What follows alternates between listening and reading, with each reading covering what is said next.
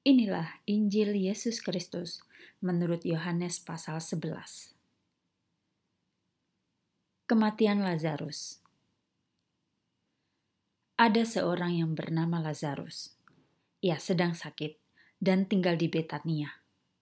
Di kampung itulah Maria dan adiknya, Marta, tinggal. Marialah perempuan yang pernah meminyaki kaki Yesus dengan minyak mur dan mengeringkannya dengan rambutnya. Lazarus yang sedang sakit itu adalah saudara Maria. Maka Maria dan Marta menyuruh orang untuk memberi kabar kepada Yesus. Tuhan, sahabatmu yang engkau kasihi sedang sakit. Ketika Yesus mendengar kabar itu, ia berkata, "Penyakit itu tidak akan membawa kematian." Tetapi akan menyatakan kemuliaan Allah. Oleh penyakit itu, Anak Allah akan dimuliakan. Yesus memang mengasihi Marta, Maria, dan Lazarus. Meskipun demikian, setelah Yesus mendengar kabar bahwa Lazarus sakit, ia sengaja tinggal dua hari lagi di tempat ia berada. Dua hari kemudian, dia berkata kepada murid-muridnya, kita harus kembali ke Yudea. Murid-muridnya menjawab, Guru, belum lama ini orang Yahudi di Yudea mencoba melempar engkau dengan batu. Sekarang engkau ingin kembali ke sana. Jawab Yesus, ada 12 jam terang dalam satu hari. Orang yang berjalan pada siang hari akan melihat terang dunia ini. Sebab itu, kakinya tidak akan terantuk. Jika ia berjalan pada malam hari, kakinya akan terantuk, karena tidak ada terang yang membantunya untuk melihat. Sesudah itu ia berkata kepada mereka, Lazarus, saudara kita, sedang tidur sekarang. Aku akan pergi ke sana untuk membangunkan dia dari tidurnya. Para muridnya menjawab, Tuhan, jika Lazarus dapat tidur, ia akan sembuh. Maksud Yesus ialah Lazarus telah meninggal. Murid-muridnya menyangka Yesus berkata tentang tidur dalam arti biasa. Oleh sebab itu, Yesus berkata dengan terus terang, "Lazarus sudah meninggal. Aku bersyukur karena aku tidak hadir pada waktu itu. Hal itu lebih baik bagimu, sebab kamu dapat belajar untuk percaya." Marilah kita pergi kepadanya sekarang. Kemudian Thomas yang disebut Didimus berkata kepada murid-murid yang lain, "Kita juga pergi supaya kita mati bersama Yesus." Yesus di Betania. Yesus tiba di Betania dan mendapati Lazarus telah meninggal selama empat hari. Lazarus telah dibaringkan di dalam kuburnya. Betania kira-kira dua kilometer jauhnya dari Yerusalem.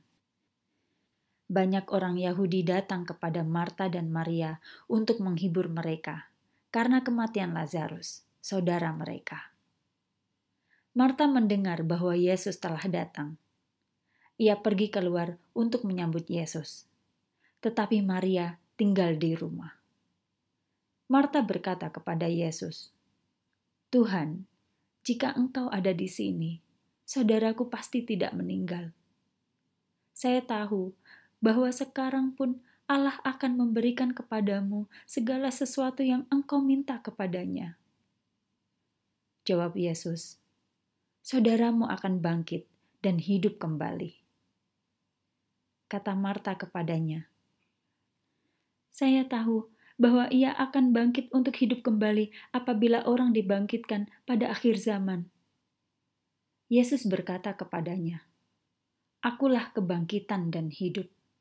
Barang siapa percaya kepadaku, ia akan hidup setelah dia meninggal. Orang yang percaya dan hidup dalam aku tidak akan pernah sungguh-sungguh mati. Marta, percayakah engkau akan hal itu? Marta menjawab, "Iya, Tuhan. saya percaya bahwa Engkaulah Kristus, Anak Allah, yang telah datang ke dunia ini. Yesus menangis. Sesudah Marta berkata demikian, dia kembali dan memanggil Maria, saudaranya. Marta berbisik kepada Maria, "Guru ada di sana, ia memanggilmu." Setelah mendengar itu, ia berdiri dan segera menjumpai Yesus. Waktu itu, Yesus belum sampai ke Betania. Ia masih berada di tempat Marta menjumpainya. Ada orang Yahudi di rumah Maria yang datang menghiburnya. Mereka melihat bahwa Maria berdiri dan segera pergi keluar. Mereka menyangka bahwa ia pergi ke kubur Lazarus untuk menangis. Jadi mereka mengikutinya. Maria pergi ke tempat Yesus berada. Ketika melihat Yesus, ia bersujud di depan kakinya.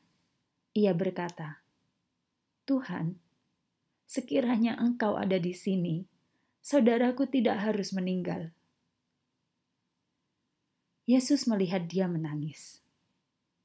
Ia melihat orang Yahudi yang datang bersamanya juga ikut menangis. Yesus merasa terharu dan sedih. Kemudian dia mengatakan, "Di manakah Lazarus kamu kuburkan?" Jawab mereka, "Tuhan, ikutlah dan lihatlah." Menangislah Yesus. Orang Yahudi itu mengatakan, "Lihatlah betapa sayang dia kepada Lazarus." Beberapa orang di antara mereka mengatakan, ia dapat menyembuhkan mata orang buta. Mengapa ia tidak membantu Lazarus supaya Lazarus tidak meninggal? Hati Yesus menjadi sangat terharu. Yesus membangkitkan Lazarus. Kemudian Yesus pergi ke kubur tempat Lazarus dibaringkan. Kubur itu sebuah gua yang ditutup dengan batu. Yesus mengatakan, angkat batu itu. Marta, saudara Lazarus, berkata kepada Yesus, "Tuhan, Lazarus sudah empat hari meninggal. Tubuhnya pasti sudah membusuk dan berbau." Jawab Yesus, "Aku sudah mengatakan kepadamu, jika engkau percaya, engkau akan melihat kemuliaan Allah." Jadi, mereka mengangkat batu yang menutupi kubur itu. Kemudian Yesus menengadah ke atas dan berkata, Bapa, aku mengucap syukur kepadamu karena engkau telah mendengarkan aku. Aku tahu bahwa engkau selalu mendengarkan aku. Tetapi aku mengatakan itu karena orang banyak yang berada di sekelilingku di sini. Aku mau supaya mereka percaya bahwa engkaulah yang telah mengutus aku. Sesudah berkata demikian, ia berseru dengan kuat, "Lazarus, keluarlah!" Orang yang telah meninggal itu pun keluar. Kaki dan tangannya masih terikat dengan kain kapan. Wajahnya juga masih tertutup dengan sapu tangan. Yesus berkata kepada orang yang ada di situ, "Bukalah kain-kain itu dan biarkan dia pergi." pemimpin Yahudi ingin membunuh Yesus. Banyak orang Yahudi datang melawat Maria. Mereka menyaksikan sendiri yang dilakukan oleh Yesus. Mereka menjadi percaya kepadanya.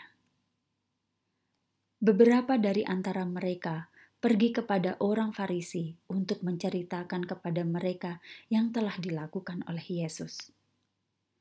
Kemudian imam-imam kepala dan orang Farisi memanggil mahkamah agama untuk berkumpul. Mereka mengatakan, "Apa yang harus kita lakukan? Orang itu melakukan banyak mukjizat. Apabila hal itu kita biarkan, maka semua orang akan percaya kepadanya, dan orang Roma akan datang untuk merampas bait serta bangsa kita." Seorang di antara mereka bernama Kafayas, imam besar pada tahun itu. Ia berkata kepada mereka, "Kamu tidak tahu apa-apa. Lebih baik jika satu orang mati untuk seluruh bangsa daripada seluruh bangsa binasa." Tetapi kamu tidak menyadari hal itu. Kafayas tidak mengatakan hal itu dari dirinya sendiri dia imam besar pada tahun itu. Jadi sesungguhnya Kafayas bernubuat bahwa Yesus akan mati untuk bangsa itu.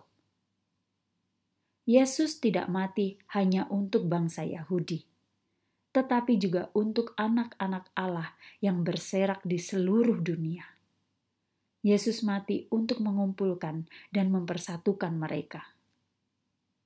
Sejak hari itu, mereka berencana untuk membunuh Yesus. Karena itu, Yesus tidak lagi muncul secara terang-terangan di depan orang Yahudi. Yesus meninggalkan Yerusalem dan pergi ke sebuah kota dekat padang gurun. Kota itu bernama Efraim. Di kota itulah Yesus tinggal bersama murid-muridnya. Pada waktu itu, hari raya Paskah orang Yahudi sudah dekat banyak orang dari negeri itu berangkat ke Yerusalem sebelum hari raya Paskah. Mereka menyucikan diri untuk menyambut hari raya Paskah. Mereka mencari Yesus. Sambil berdiri di pelataran bait, mereka berkata satu sama lain, "Apakah Yesus datang ke pesta? Bagaimanakah pendapatmu?" Sementara itu, imam-imam kepala dan orang Farisi telah mengeluarkan perintah mengenai Yesus. Mereka memerintahkan agar setiap orang yang tahu tempat Yesus berada segera melapor. Dengan demikian, mereka dapat menangkapnya.